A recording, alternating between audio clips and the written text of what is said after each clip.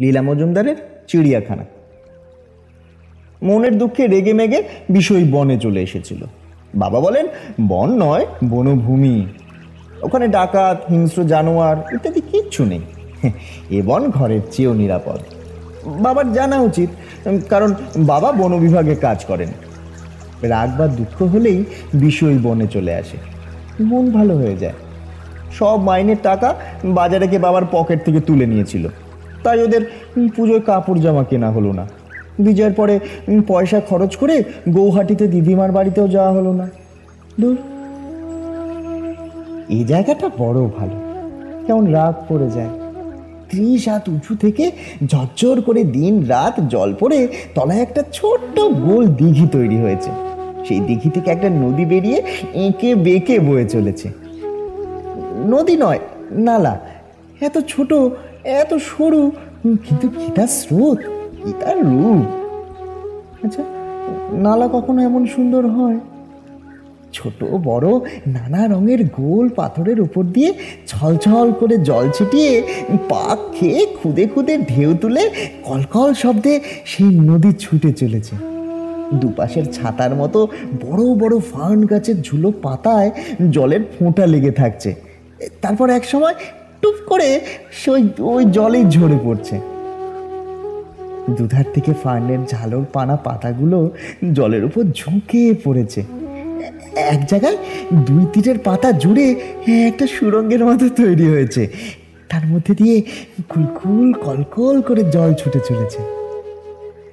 জুতো বগলে নিয়ে মাথা নিচু করে বিশুও চলল সুরঙ্গের ভিতর দিয়ে। কি ঠান্ডা!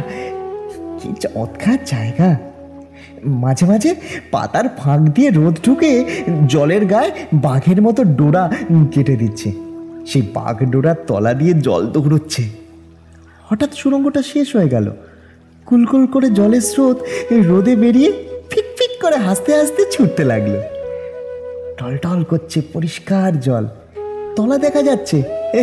বালি বালির উপর নানা রকের নুড়ি গড়াচ্ছে। সাদা, হলুদ, গোলাপি, লাল, কুচকুচে কালো। ছোট বড় মাছ বিদ্যুতের মতন ঝলক দিচ্ছে। নুড়ির আড়াল থেকে বড় মাছগুলো জুলজুল করে বিশুর পায়ের দিকে তাকাচ্ছে। জলের তলায় পায়ের আঙ্গুলগুলো কেমন সুন্দর ফর্সা দেখাচ্ছে। যা ঝুপ করে এক পাটি জুতো বগল থেকে খসে জলে পড়ে স্রোতের সঙ্গে ভেসে চলল। অমনি বুড়ো আঙ্গুল নখ ছেঁচা একটা হাত খপ করে জুতো পাটি তুলে ধরে বলল নাও জল দেড়ো না কিন্তু, মাছ পলাবে। বিশু চেয়ে দেখল, এক বেজায় বুড়ো হাঁটু মুড়ে জলের ধারে রোদের মধ্যে বসে। তার হাতে একটা ছোট্ট ছিপ, পাশে সরু মুখের চুপড়ি, তাতে একটাও মাছ নেই। বিশু বলল, তোমার পাথরে একটু রোদ্দুরে বসি। বুড়ো ফোকলা মুখে এক গাল হাসলো। বসো বসো, খুব খুশি হলাম। তাছাড়া পাথরও আমার নয়, রোদও আমার নয়। কিন্তু নাড়া সারা হট্টগোল করো না কিন্তু, তাহলে আবার মাছ পলাবে। অবশ্যই মাছও আমার নয়। বিশু রোদে পা গরম করতে আর বুড়োর মাছ ধরা দেখতে লাগল। সঙ্গে সঙ্গে বড়শিতে একটা আধ বিগত মাছ গাঁথল। বুড়ো চটপট সেটি তুলে যত্ন করে বড়শি খুলে মাছটাকে চুপড়িতে না ফেলে এমা জলে ফেলে দিল। বিশু তো দেখে অবাক। আবার মাছ পড়ল, আবার তাকে জলে ফেলা হলো। জলে মাছ একেবারে কিলবিল করছে। এমন করে সাতটা মাছ ফেলা হয়ে যাওয়ার পর বিশু জিজ্ঞাসা না করে পারল না। ছেড়ে যখন দেবে, তাহলে ধরছ কেন? লোকটা তো অবাক। সারবো না তো কি করব? কেন? চুপড়িতে রাখবে? তাহলে তো মরিয়ে যাবে। বাহ, মরবে না। জ্যান্ত তো আর খাওয়া যায় না। বুড়ো বড়শি গুটিয়ে বলল আমি মাছ, মাংস, ডিম খাই না। যা, খাও না তো, ধরছো কেন? মাছ ধরতে মজা লাগে তো, তাও জানো না। চলো চলো, ওঠো ওঠো। কোথায় যাব? আমার ঘরে চলো কালো বেরি খাওয়াবো। খুব সুন্দর খেতে। কালো বেরি বড় মিষ্টি। বিশু খালি চুপড়িটা হাতে নিয়ে তার ঘরে গেল। ঘর তো নয়, আধখানা তার পাহাড়ের গায়ে পাথরের গুহা। তার সামনে গাছের গুড়ি বসিয়ে তিন দিকের দেয়াল হয়েছে। ছাদ হয়েছে, দেয়ালে তাক হয়েছে, সামনের অর্ধেকটা জুড়ে দরজাও হয়েছে। ঘর রোদে একেবারে ভরে গেছে। তাকের সামনে জাল লাগিয়ে খাঁচা হয়েছে। খাঁচা ভরা ছোট বড় পাখি লাল, সাদা, নীল, সবুজ, মেটে, ছাই, হলুদ, কালো, নাচছে কুঁচছে গান গাইছে। দেখে দেখে বিশু তো অবাক কোথায় পেলে এদের? আকাশের পাখিকে খাঁচায় পড়া নিষ্ঠুর কাজ জানো? কুড়িয়ে আনলাম তো। ডানা ভেঙা, ঠ্যাং খোড়া আকাশে এরা উঠতে পারে না তো। ছেড়ে দিলে কাগে পেঁচারা ঠুকরি খাবে। ওই বেজিটা কেন? যদি পাখি ধরে? ওর তিনটে ঠ্যাং তো। কামড়ানো ফাঁদে পড়েছিল। কোথায় যাবে ও? সাপ মারে আশা করি। কি জ্বালা। বলছে সামনের একটা ঠ্যাং নেই। সাপ ধরবে কেমন করে? কামড়ে দেবে না। সাপের ভয়ে পাখির খাসার ছাদে বসে থাকে। তবে ওই ধেরে কালো সাপটা কেন? ও, তো ধ্যানস, ওর বিষ নাই সের দ্বারা ভাঙা, চলতে পারে না। বেরুলে, ওই বাইরে বেরুলে শিয়ালে তো খেয়ে নেবে। তাহলে শিয়ালটাকে রেখেছ কেন? হো, ও ও শেখো দেখতে পারে না। ও ও সখী দেখতে পারে না। যাবেটা কোয়ানে? ওরা কি খায়?